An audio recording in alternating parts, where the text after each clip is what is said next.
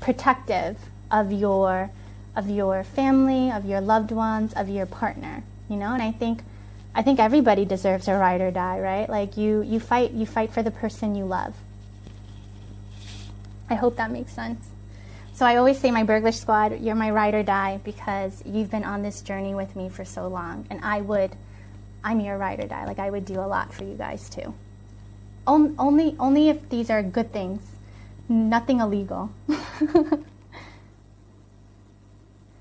Gojomin says, yes, you are right about Myanmar society, but we are trying to change that. Okay. I just, I think for me, I just think money is such a, if we're trying to go into sociology, it's so important, no? Because it really, it really talks about just freedom in general, right? It, to have financial freedom, if two people know more about finances or take care of finances, and the kids too, they hold their own money, the society, the family would grow. No, because because now you can you can talk about money, and I think that if there's just one person, um, this is just Machimon's opinion, right? Uh, and it's just my opinion for today.